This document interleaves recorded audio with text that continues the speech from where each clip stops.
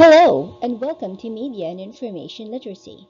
I am Armin Rose, and I will be your guide as we go through the contents of this course. This is Part 4 Media and Information Sources, Skills, and Languages.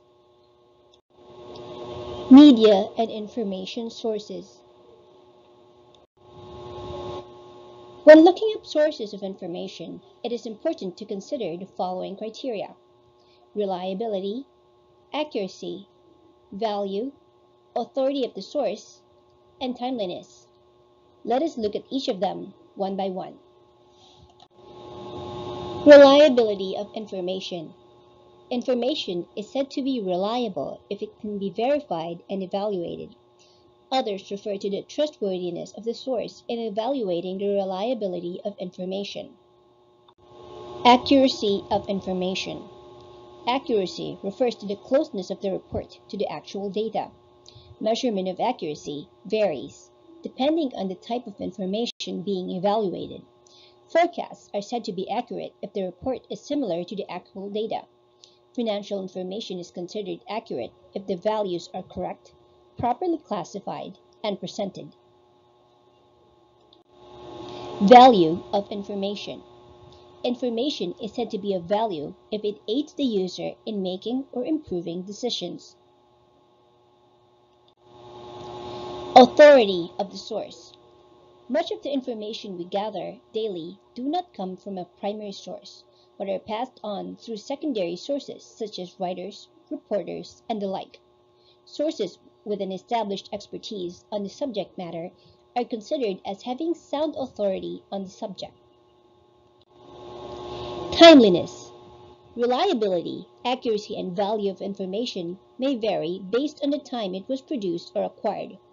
While a piece of information may have been found accurate, reliable, or valuable during the time it was produced, it may become irrelevant and inaccurate with the passing of time, thus making it less valuable.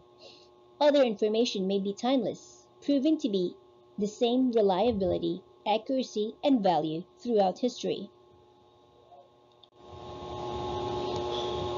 The library is a traditional source of printed information. Books, journals, newspapers, magazines, pamphlets, pictures, posters, movies, and documentaries. A library started during the Greek times and flourished in the Roman era.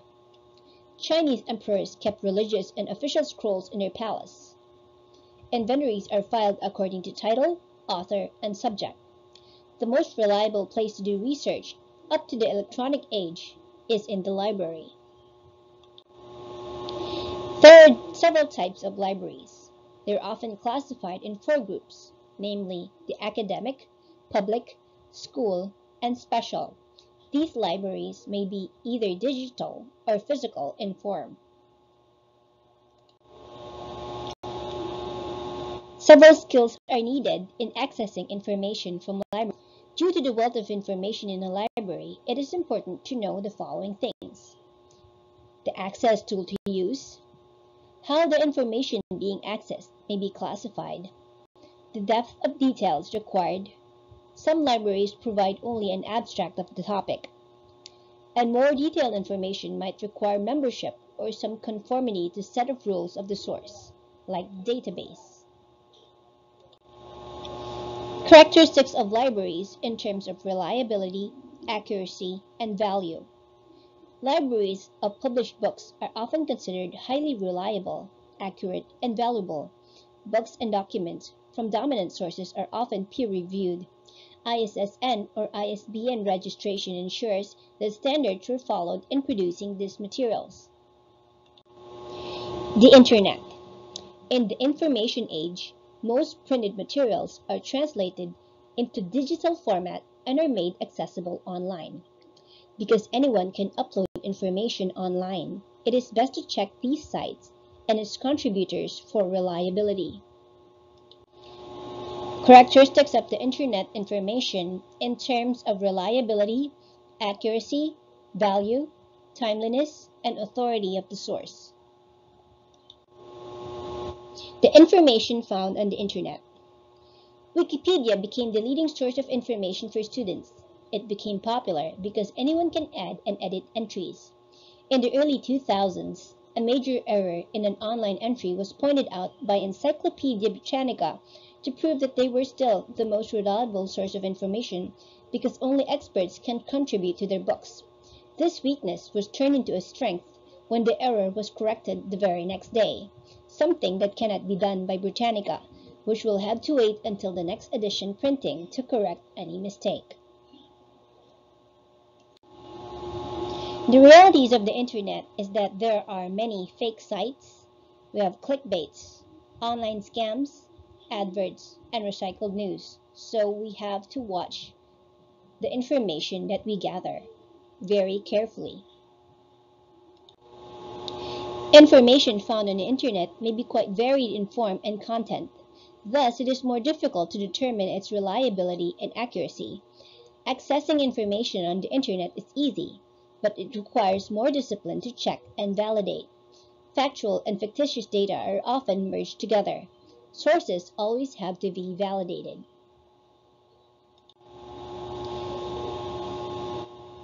Current popular alternative media. Other alternative forms of communication and distribution have become popular. These include social media, blogs, and flash mob performances. These alternative forms provide greater freedom and power to ordinary individuals and are a quicker way of distributing information. The downside is that a lot of the information being passed around is biased and inaccurate. Media and information literacy skills. Skills in determining the reliability of information. Check the author. The author's willingness to be identified is a good indication of reliability. Check the date of publication or of update. While the information may be true, it may not be reliable if it is outdated and may have lost relevance. Check for citations. Reliable authors have the discipline of citing sources of their information. Check the domain or owner of the site or page. The domains .edu and .gov are reserved for academic institutions and the government respectively. Information from such sites are presented with caution and are usually well-grounded. Site owners may have an agenda that affects the manner by which information is presented. Check the site design and writing style. Credible sources take time to make their information accessible and easy to comprehend. Skills in determining the accuracy of information. Look for facts Cross-reference with other sources to check for consistency. Determine the reason for writing and publishing the information. Check if the author is objective or leaning heavily on a certain point of view.